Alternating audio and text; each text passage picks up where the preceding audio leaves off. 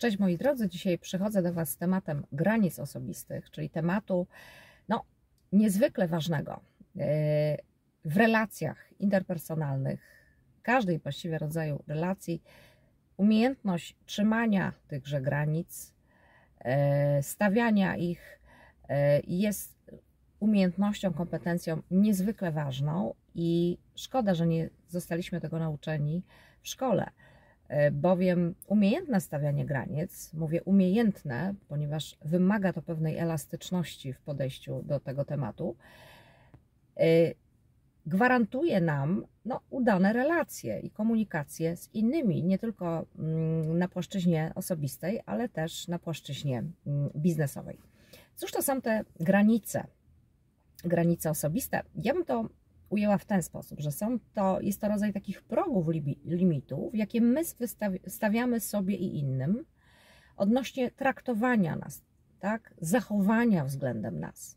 Bowiem zakłada to, że to ty decydujesz, co jest dla ciebie dobre, a co już nie, na co pozwalasz, a na co już nie.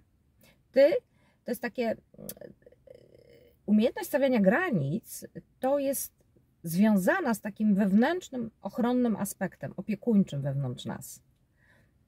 Tak? Taką decyzją, że umiem siebie ochronić. Ale żeby umieć siebie ochronić w odpowiedni sposób, trzeba wiedzieć, kim się jest, bo bez tego nie ujedziemy.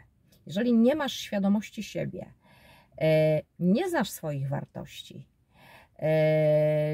masz chaos, nie wiesz co lubisz, czego nie lubisz, na co możesz pozwolić lub nie, no to trudno mówić o konsekwentnym e, i takim właściwym stawianiu granic rzeczywistości, tak?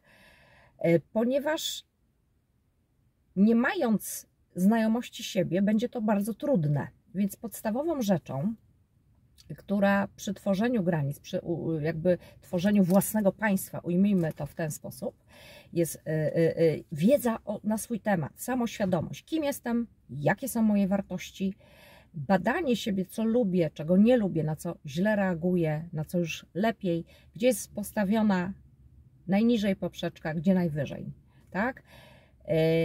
To jest bardzo ważne, żeby ustalić samemu ze sobą, na co się godzę, a na co już nie.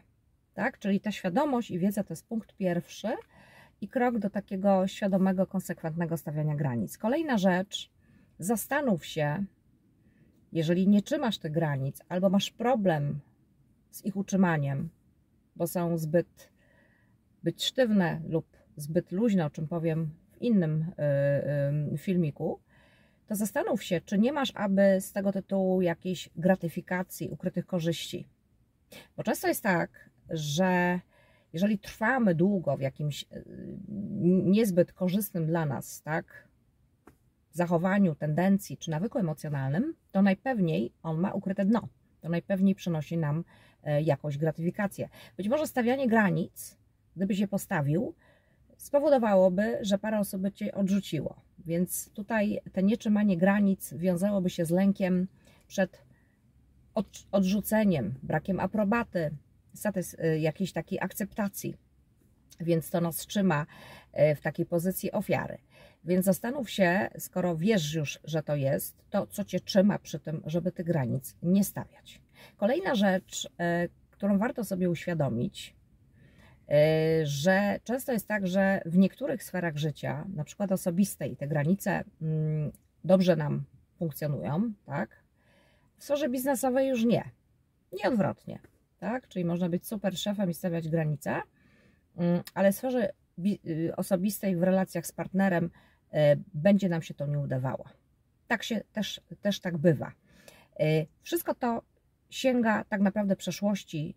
Background jest taki, jak zostaliśmy wychowani. Czy nasze granice w dzieciństwie nie zostały naruszane? Czy, nie czy zostały źle skomunikowane, czy yy, stosowana była przemoc emocjonalna, psychiczna, yy, czy nawet fizyczna. Wszystko to powoduje, że my nie wiemy, jakby stamtąd nie ma tej wiedzy, tej umiejętności, to doświadczenie powoduje, że my nie mamy tych narzędzi do tworzenia tych granic. Tak? No bo nasi najbliżsi też tych granic nie mieli. Oni albo je przekraczali w bardzo niezdrowy sposób. Tam jest, tam jest źródło, tam trzeba znaleźć, ponieważ tam jak my byliśmy traktowani, my w ten sposób traktujemy, podobnie traktujemy siebie.